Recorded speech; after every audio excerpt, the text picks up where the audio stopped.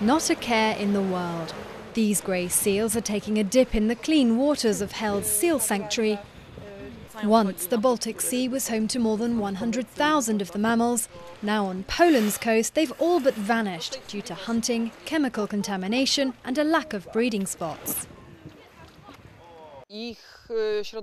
Their only natural habitat in the region has been transformed into an army base, and the seals could no longer live there. Marine flora is also suffering from the effects of sewage and runoff from farms. Tens of thousands of tons of nitrogen and phosphorus are pumped into the Baltic each year, causing excessive algae. This sucks up oxygen, which marine life depends upon. Shipping, in fact, accounts for just 10% of pollutants.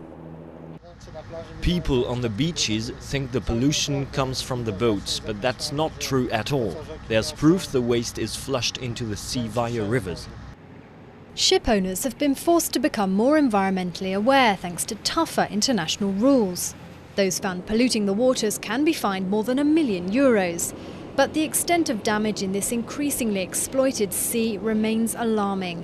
One thing's for sure, the Baltic looks set to host even more activity in the future.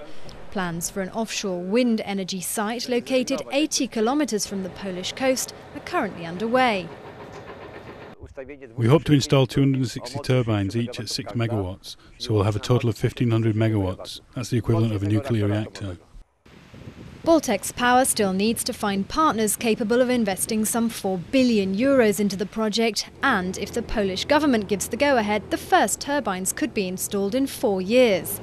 Clean energy, but at what expense for marine life?